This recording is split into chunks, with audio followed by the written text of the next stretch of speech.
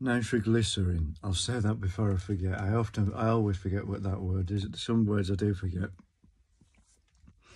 That was a liquid explosive and it was unstable, wasn't it? The slightest vibration or knock or tap and it, would explode.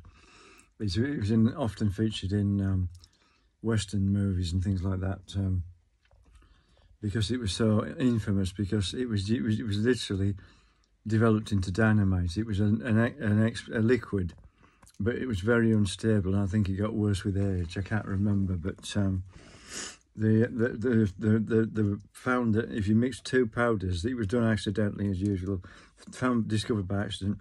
Two powders got mixed together and actually accidentally dropped into the nitroglycerin, and it found it was found it stabilised it. But then the only way to detonate it was um, with a with a small explosive charge. That was the only way they could do it. But um, the person who, who discovered the way to, to stabilise it with these powders, wasn't there sort of going to be a court case or something? Um, because somebody was trying to patent the idea, and he or um, I can't remember the exact story, but he did it. The man who owned, who came up with the idea, patented it, patented it, or sued the the person, the person who was trying to patent it in their name, and won and he was called Noble, wasn't he? Um, or Nobel, the man who patented it, and with money he made from it, he started the Nobel Peace Prize because it, it, was pretty upset about all the people who've been killed by nitroglycerin explosions. I think that's the that's the true story. I saw it recently, and and that's why it's called the Nobel Peace Prize. But um, that's what I was meaning um, about um, the, the, the detonator in a bomb it works the same way because it's basically it's um it's it, it isn't dynamite I don't think in bombs with World War II ones it, but it was a derivative. And that's why when they, when they're found in riverbeds like in the Thames and that they're often unstable and need to be detonated in situ with with an explosive charge. Um I'm not sure about that but that, I think that's why how it's done but yeah, the, the, the fuse in the bomb was a detonator that detonated the bomb. Where was this going? I've forgotten. Um, yeah, obviously I, I, saw that on a serial that was on telly, on telly when I was young. A series of, of programs called Danger UXB, Unexploded Bomb. And obviously they, they, they, were, they wouldn't show the wiring colours and stuff, but there were often scenes where they were de defusing bombs and that's how it was done. Initially, if there were German bombs in, in the UK be, before the end of World War II, they'd have I think have to either guess which, which wires to cut first so the, the bomb was rendered safe and wouldn't detonate. But I don't know whether they could trace the wires without. They used to usually. I don't know whether it was um, actually accurate, but they used to usually unscrew the fuse from the bomb and then cut the right wires, and it, that was it. It was done.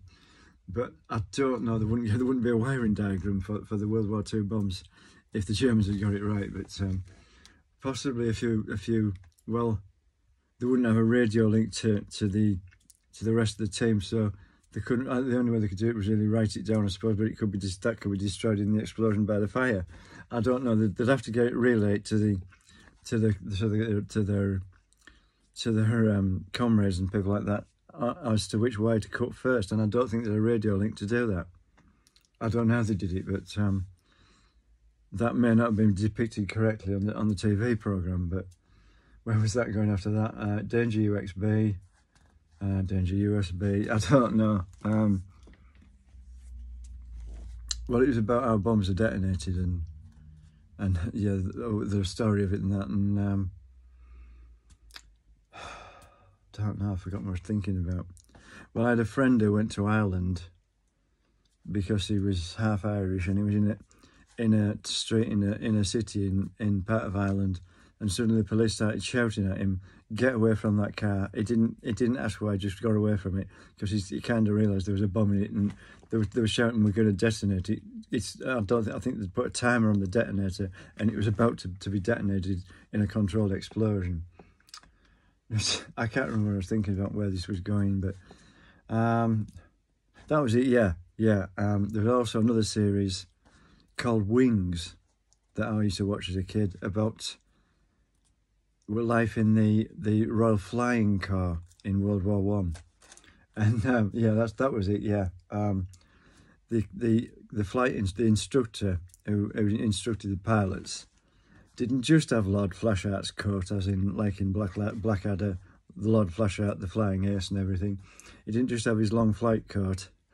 Um, he, had, he had the same attitude, and um, I can see where they've got that character from. Actually, he was just like him. It's it's quite a good depiction. Uh, but there was no Captain Darling in that series or anything else like that. But um, yeah, was there any more of that? I can't remember. But yeah, I mean, Lord Flashheart, he is one of the best characters from Blackadder. It's over exaggerated, so it's exaggerated, and I sometimes think think he is mocking someone, sort of, in the process. But I don't know so much now because when you see the character in Wings, it's obvious he's he's mocking him, and other than that, I don't know.